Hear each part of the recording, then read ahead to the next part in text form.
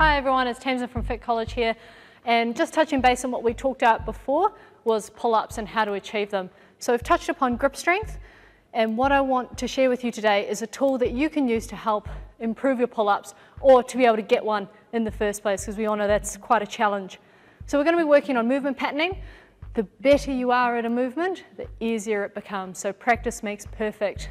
But if we can't do one in the first place, if we're not able to do a pull-up, how do we get good at the movement? So I've got a bit of band work that I'd like to share with you. So choose a band that is easy. It makes the movement easy for you. And as the movement gets easier, make the band smaller so it takes less of your weight. So we'll go on over. I've um, hooked up this band here just to my pull-up bar and I'm going to pull this down around my knee. If you're not as tall as I am, I think I'm quite fortunate here, get a box to stand on because it'll just mean that you don't have to pull the band a whole way down. So we're going to pull and you're going to hook your knee into the loop.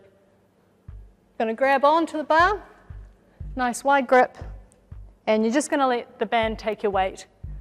All right? So pulling up to the top,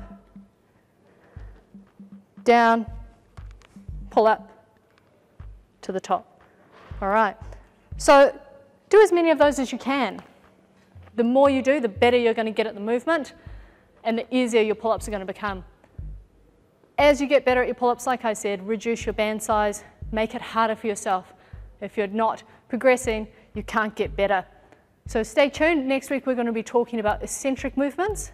So how to lower yourself down from a pull-up to improve your pull-up movement and strength. Stay tuned. We'll see you. Thank you.